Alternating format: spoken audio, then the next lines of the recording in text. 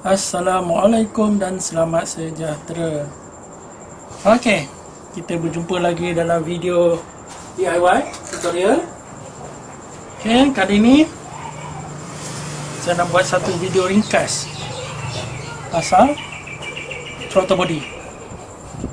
Okey, throttle body ni adalah throttle body Proton perdana V6 Okey yang lebih kurang sama dengan dia adalah uh, total body 4G93 4G92 twin cam.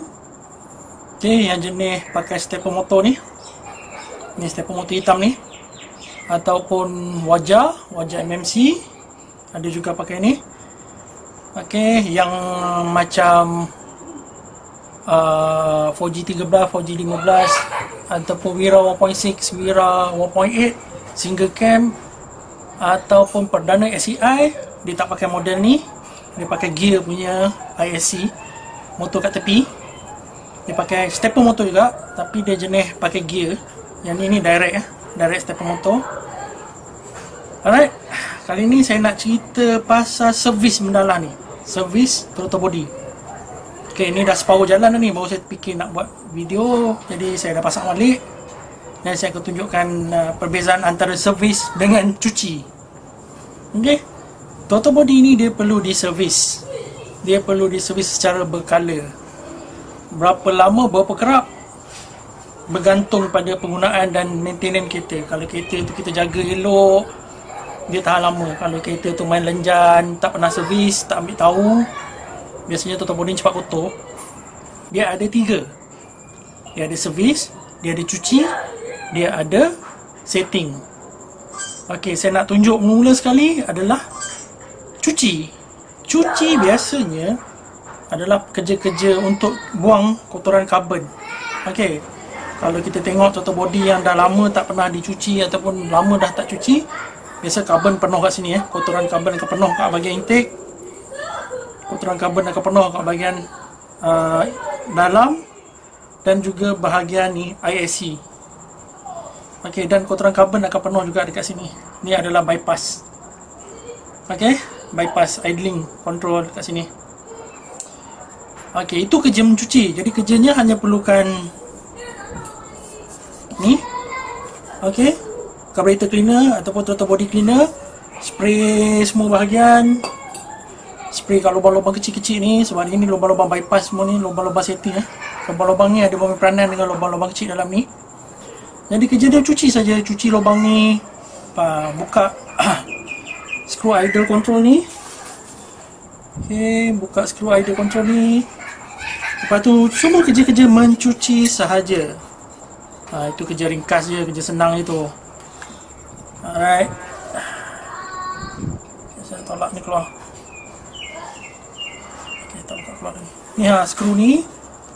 Buka skru ni keluar. Wah, dia tahan color dia hitam keladak ni ha. Eh, hitam keladak. Jadi kerja-kerja adalah mencuci saja korek kat sini. Okey, ni ha kerja-kerja korek kat sini, korek dekat sini. Korek je, korek korek korek korek korek. Lepas tu, ha keluar habis kabel-kabel dia. Okey. Lepas tu Spray dengan berdalah ni ah, Nanti nanti nanti. Meja ni kena alas. Ni meja pinjam ni. Tengah mok lah ada ada lagi Meja dia kotor. Okay Spray dekat sini. Kita tengok ah, Hitam keluar. Spray dekat sini. Ah, Habis kotor meja.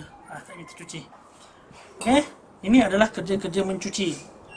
Sediakan satu tin Bersih lah Terutama body itu mencuci yang tak perfect, tak habis. Sebab kalau kita tengok dekat sini, dia ada bypass, lubang bypass yang kat sini untuk ISC, idling speed control. Angin akan masuk ikut sini, lubang yang kecil 2 biji ni akan melalui stepper motor dan akan keluar ke belakang. Jadi kerja-kerja mencuci yang lebih baik adalah dengan buka stepper motor ni sebab stepper motor ni pun perlu dicuci. Ok ni semua skru dah dilonggarkan lah ni. Semua skru dah dilonggarkan.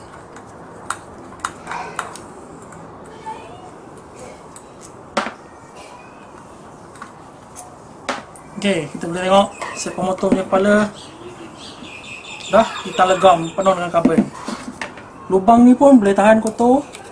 Lubang ni penuh dengan carbon ok jadi kalau dah cuci cuci cuci cuci, ha, macam tu je lah boleh cuci kat sini. Nak cuci lebih-lebih tak boleh. Okey. Spraykan carburetor cleaner. Oh, ha, tu dia. Jadi itu sahaja boleh dicuci lubang untuk stepper motor. Stepper motor ni ha ni ha kepala ni boleh dicuci balik. Ini pun proses mencuci yang tak sempurna lagi. Tak cukup sempurna sebab laluan belakang ni daripada stepper motor nak keluar ke belakang ni tak boleh dicuci kalau kita tak buka bahagian bawah ni. Okey, jadi kita buka pula bahagian bawah ni. Ada lima skru. Ini pun saya dah longgarkan.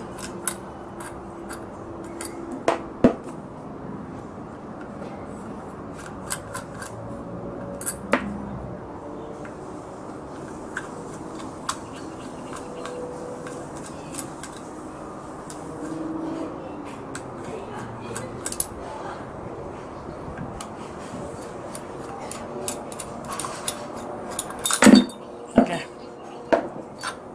Alright, kita tengok gasket dia dah terkoyak rabak. Alright, kalau kita tengokkan dekat sini akan ada satu lubang. Ini ada lubang bypass daripada stepper motor. Dan lubang ni biasanya akan bergerak. Okay, cuci dengan screwdriver je, gonyo gonyo gonyo gonyo gonyo gonyo. Okay, dah siap cuci gonyo santal semua. Barulah dibilas dengan carburetor cleaner. Carburetor cleaner ni memang kuat lah. Dia kuat makan karbon, kotoran karbon.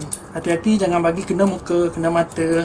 Dia sangat bahaya. Okey, boleh tengok keluar ni. Padahal ni saya dah korek dah sebelum ni. Saya dah korek, saya dah cuci separuh dah benda lah ni. Okey.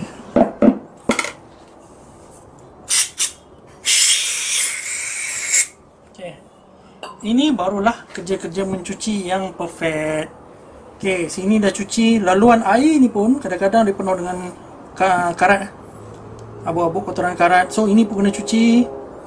Ha, ini dan ini saja. Yang lain tak perlu cuci. Yang ini lubang air. Ni semua lubang air, ni lubang air, ni lubang air. Tak ada apa nak cuci sangat. Sama juga di sini. Ini adalah lubang bypass tadi. Okey. Cuci kat sini, dia akan keluar dekat sini. Okey, dia akan keluar dekat sini. Jadi cuci je lah sini. Dah berkilat bersih, barulah settle kerja-kerja. Oh banyak ah. Mencuci. Itu mencuci sahaja. Banyak banyak lagi ni. Okey, itu mencuci. Bukan lagi servis. Okey. Mencuci. Settle bahagian mencuci eh. Ni dah berkilat, tak ada langsung karbon. Lubang untuk SAS eh. Untuk setting pun dah berkilat, bersih. Ha, korek dengan putih kapas dah senang, cantik sampai dalam. Lepas tu inlet ke ISC yang petak dua biji ni, ya, keluar ke sini pun dah bersih. Dekat bawah ni untuk stepper motor punya tapak dah bersih berkilat. Yang ni lubang ni bypass ni lubang inlet ni pun dah bersih. Belakang ni dah bersih. Berkilat. Tonyoh lah macam mana janji berkilat. Itu adalah kerja-kerja mencuci sahaja. Itu mencuci sahaja. Belum lagi servis. Yang servis biasanya dia melibatkan penggantian barang. Contoh dekat sini. Okey, boleh tengok kat sini. Saya ganti kedua nipple besi kat sini. Okey, nipple besi yang asal sudah berkarat. Berkarat agak teruk, dah reput, dah hancur. Jadi kat sini saya dah ganti nipple baru. Okey, ini adalah benda wajib ganti sebenarnya ni. Setiap kali servis atau body pun dah ganti. Yang kedua, permukaan ni. Okey, permukaan ni ha, nampak berkilat sikit saya bawa gonyok sikit.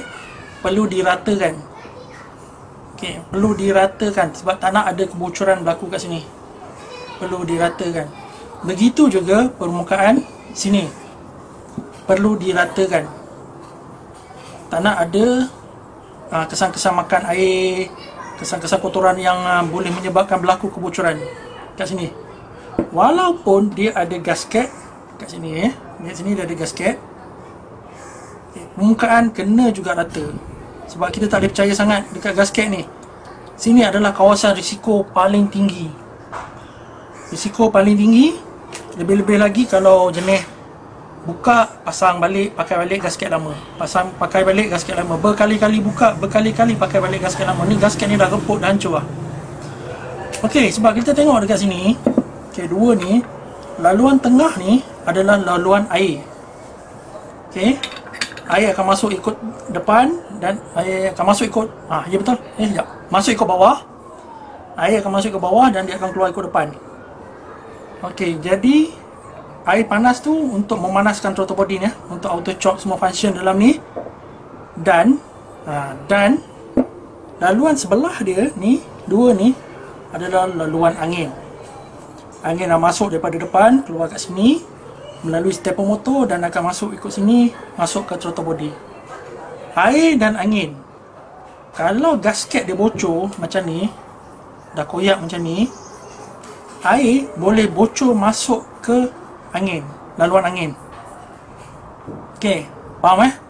Air boleh masuk ke laluan angin sini ataupun angin yang besar ni dan air itu akan disedot masuk ke intake manifold. Ha, dia masuk ke dalam intake manifold. Alright, waktu kita tengah tarik pickup sedap-sedap tu, dia masuk dalam intake manifold dan bila dah banyak di dalam intake manifold, air tu boleh disedot masuk ke dalam silinder. Ini yang bahaya. Air tu boleh disedot masuk ke dalam silinder dan menyebabkan berlakunya hydrolock. Hydrolock ni memang kita tak nak. Kita memang tak nak hydrolock. Hydrolock ni kalau jadi pada enjin, jahanam lah enjin tu. Okay, hydrolock ni masuk dia, air masuk ke dalam silinder dan bila silinder nak compress dia, tak boleh sebab ada air. Jadi crankshaft masih lagi tolak piston nak naik untuk compress tapi selin piston tak boleh nak compress sebab ada air. Dan last kali berlaku kerosakan enjin sama ada piston pecah connecting rod patah ada connecting rod patah ataupun bengkok. Uh, berlaku kerosakan pada cylinder head pada dinding block block crack dan macam-macam lagi. Nak-nak pula dengan sedap tarik pickup tu tekannya tekannya tekan masuk air biasanya babai lah enjin berkecai lah enjin. Memang pecah enjin. Okey, kita boleh jumpa blok berlubang. Yalah, connecting rod patah. Pergi jolok dinding blok, dinding blok pecah, berkecai. Okey Jadi bila Buka servis Total body Pastikan pembukaan ni Dan pembukaan ni rata. Dan Jangan kedekut Jangan kedekut sangat. Ganti gasket ni. Ganti yang baru macam ni. Okay, ni yang baru, tebal, bulat lagi Bulat cantik lagi. Yang ni dah penyek dah, dah reput dah ujung-ujungnya Dah reput dah kat ujung-ujung ni. Kalau saya tarik pun putus ni. Ha, jereng, putus. Dia dah reput, dah berpuluh tahun dah dia berkhidmat. Takkan tak nak ganti. Okay, menyesal Untuk barang yang beberapa puluh ringgit ni Enjin hancur, tak padan dengan kedekut. Okay, jadi ada dua o-ring dekat sini yang perlu diganti. Yang paling wajib saya tekankan sangat adalah o-ring ni. Sebab o-ring ni dia memisahkan air dengan angin. Okey, yang kedua adalah o-ring sini. Ni adalah o-ring yang berada pada stepper motor duduk kat sini. Okey, dia untuk mengelakkan angin luar masuk ke dalam throttle body. Ni kat sini duduk dia.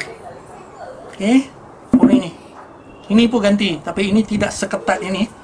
Yang ni saya memang tekankan Ganti je. Jangan kedekut. Jangan enjin tak baloi. Okay Yang ni kena cuci. Yang ni kena cuci. Skru. Semua skru tak tepi. Ha biarlah kotor ni. Nak eh Tak apa. Kita cuci betul Okay, cara nak ratakan permukaan ni Sebab kalau tengok kan kat sini Ini saya dah gosok ah, Saya dah gosok dengan kertas pasir saiz 600 grade 600 Tapi tengok kat sini Ada kesan dimakan oleh air Okey, kesan karat air aluminium. Ni aluminium ni, tapi dia dah makan kat sini. Jadi kena gosok lagi dengan kertas pasir 600. Lepas tu pergi ke kertas pasir 400. Lepas tu last kali kertas pasir 1000 supaya permukaan dia ni rata. Okey, jom contoh. Hai. Gosok kertas pasir pun nak kena tunjuk contoh. Oh, jatuh. Ya, mikrofon ni. Okey, ni kertas pasir ada dua grade je yang yang berapa ratus itu tak habis. Ni adalah 1000 dengan 600. Okay, 1000 dengan 600. Jadi letak atas satu muka rata, gosok.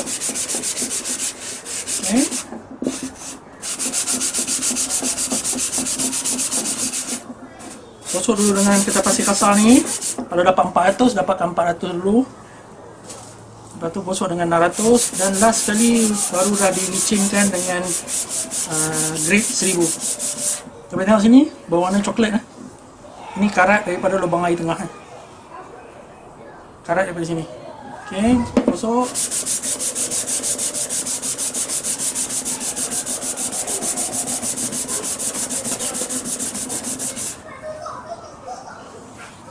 Kat sini nampak kilat Maksudnya tak ada laluan yang air akan bocor masuk ke sini. Nak puas gosok lagi banyak-banyak. Alright, sini saya akan gosok lagi. Dan dekat sini. Nah, dekat sini dia mencabar sikit sebab nak gosok dia tak boleh letak gini. Sebab dia ada ni ah, skru untuk ikat dekat uh, frame dia. Dekat bracket. Jadi nak gosok dia kena guna bucu meja. Okay, nampak tak dalam video bucu meja? Ah, sini nampak sebenarnya. Eh, bucu meja. Lipatkan kertas pasir ni sikit. Macam ni, letak kat bucu meja. Ha, letak macam ni kat bucu meja. Ha, right. Lepas tu, gosokkan dia.